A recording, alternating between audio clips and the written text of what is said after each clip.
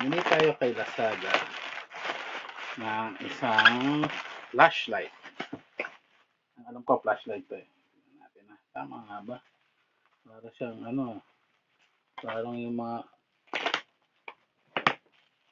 mga bagay na mga balot na balot na pahaba na for adults only ang dating ah. Pero flashlight po to, hindi, hindi, mm, -mm flashlight talaga, flashlight. Baka nagkamali kayo narinig. Yan, flashlight. So, bakit? Malapit na ho, tag-ulan. Pag tag-ulan, nagba-brown out. So, pag nagba-brown out, yan, may flashlight tayo dapat.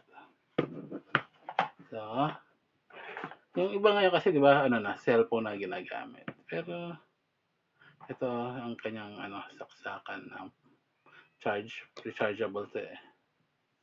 May power kaya? Uy, meron, oh. Ah. Okay na, malakas naman. Ah, may blinker pa siya. So, maganda to pag ano, pag nasa kalsada kayo, meron nyo din pang blinker. Pero, nakaka-epilepsy to pag tinignan nyo mabuti. So, ayan. Plastics lang siya, hard plastic. Hindi siya rubberized. Ito lang medyo rubberized. Siguro para ano, para maging waterproof. Mukhang waterproof siya eh. So, ito, malamang, itong tatlo na ito, kapag nagcha-charge ka, makikita mo kung anong level na. Mura lang to. So, nire-recommend ko, bumili kayo ng ganito.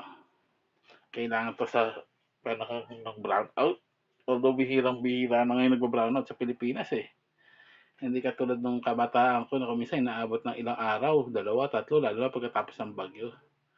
Good thing na lang yung mga high tension wire, binalutan na nila ng ano, ng rubber. Hindi katulad dati na expose siya. So, yan ah. Yan ah. Maliwanag oh. Maliwanag ang buhay at kumikutita pa. Anyway, so ito ay, hindi natin binasa, USB charging flashlight. Yan lang. Long shot. 300 meters daw. So, hindi ako naniniwala dyan. At kung ano-ano pa nakalagay na description. ABS plastic, wear resistant and non-slip. High brightness, built-in large capacity lithium battery. USB fast charger. Uh, store display function 175, 50, 25. Yun yung ilaw na nandito. Siguro. Oops, yan.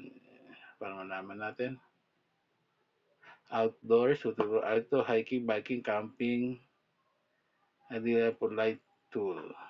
Product light is very strong. Do not look directly at the light. So, huwag sisilipin, baka magulang. Ano, meron silang uh, mga uh, pa, pictures. Tingnan nga natin pag pinatay natin ilaw. Hmm, yan, wala. Okay naman, maliwanag nga.